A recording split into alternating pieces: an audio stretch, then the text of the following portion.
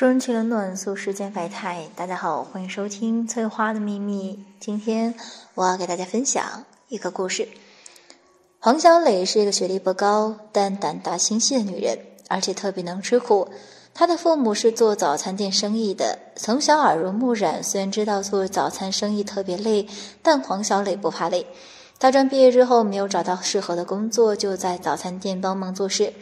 正所谓初生牛犊不怕虎，他在父母那儿学了一点手艺，就干脆向父母借了点钱，在另一条街上单干起来。父母是夫妻档，当然没有那么累，可黄小磊硬是一个人撑起了这个早餐店。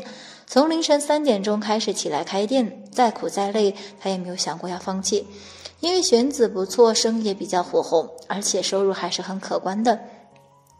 后来父母看他这边生意很好，就关了老店过来帮忙。黄小磊顺势就租下了旁边没人的店面，把早餐店扩大了一倍。因为父母在店面扩大了之后，又招了几个员工，所以黄小磊轻松了很多。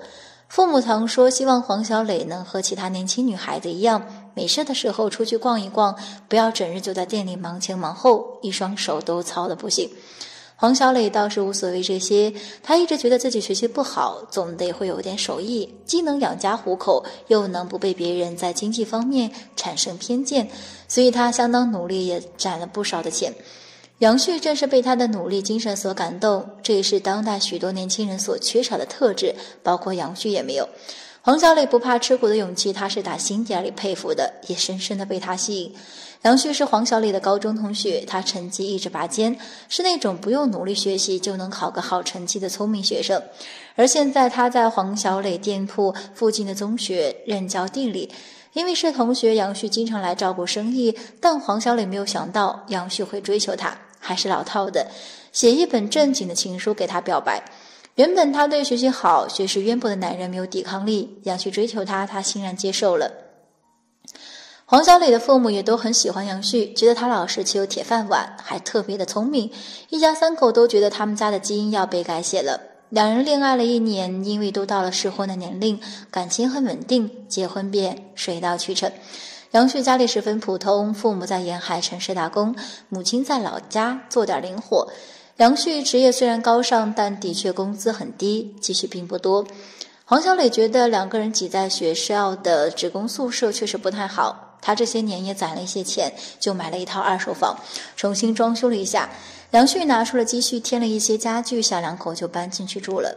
婚前，黄小磊很少和婆婆来往，但并不了解婆婆的性格。她只知道杨旭对婆婆是没有过好脸色，她不知道杨旭和婆婆之间有什么矛盾，只是杨旭不说，她也就没问。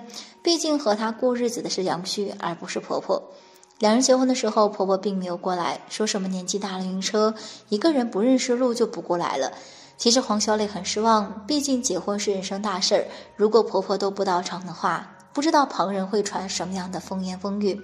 看杨旭失望又生气的眼神，他反而去安慰他说：“以后两个人好好过日子就行了。”可结婚后没多久，婆婆得知儿子儿媳住进新房了，就从老家收拾包袱过来了。杨旭很不欢迎婆婆的到来，黄小磊夹在他们中间，倒像是个和事佬。他专门给婆婆收拾了一间房。杨旭说没有必要，他母亲就是一个极其爱炫耀的人。黄小磊这样做同引狼入室为没有差别。当时黄小磊还劝他别这样说自己的母亲，说两个母子哪有什么隔夜仇，解开心就好了。而和婆婆相处之后，黄小磊终于明白杨旭说那句话的意思。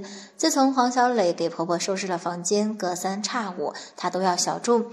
有时杨旭不同意，婆婆就在黄小磊耳边唠叨，黄小磊尊重她，也就答应了。谁知道他还带来了一个黄小磊不认识的亲戚过来，就是一道来看病的。黄小磊没有多想，觉得都是亲戚无所谓，好吃好喝的招待着。那一次，婆婆带着那个亲戚玩了几天，两人就回去了。临走之前，还让黄小磊买了很多东西，大包小包的带了回去。谁曾想，过了几天，婆婆又带着几个亲戚来，这次直接占领了主卧，黄小磊都没有地方睡了。那天晚上，黄小磊和杨旭回他的职工宿舍凑合了一晚，想等那一群人第二天走了就好了。哪知第二天回家，家里一团糟，纸摊扔的到处都是，还有小孩在墙上乱涂鸦的痕迹。黄小磊特别的生气，但有亲戚在不好发火，倒是杨旭率先生气，说不允许他再带来亲戚了，再把他母亲和亲戚一起送走了。黄小磊以为事情到这里就结束了，可婆婆没有死心。她趁杨旭去林氏学习的时候，又带亲戚来参观小两口的房子。这次黄小磊也忍不住吐槽：“婆婆怎么又带不认识的亲戚来了？”婆婆一直觉得杨旭不让她来城里生活，就是因为儿子从中作梗。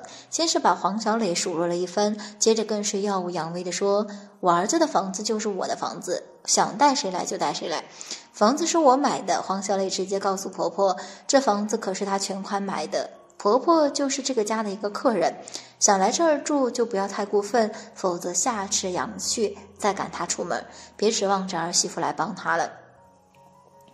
本来婆婆就是一个欺软怕硬的人，一听黄小磊态度如此的强硬，也不敢多说什么，生怕做的多了以后儿子不孝，儿媳不亲的，连个养老的人都没有，于是赶紧带着亲戚离开了。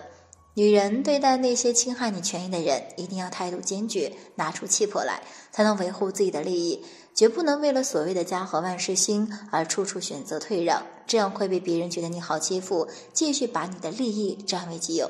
所以，任何一个人必须有强硬的手段来面对他人，这样才会避免自己受到伤害。尤其在一段婚姻中，女人千万不要以为一味的忍让会换来家庭的希望和发达。遇到一个拎不清又爱攀比炫耀的婆婆，女人真的不必太委屈自己。好了，今天的故事就到这里了。如果你有喜欢的故事，记得在视频下方留言，我们会尽力满足你的需求。期待下次与您的分享。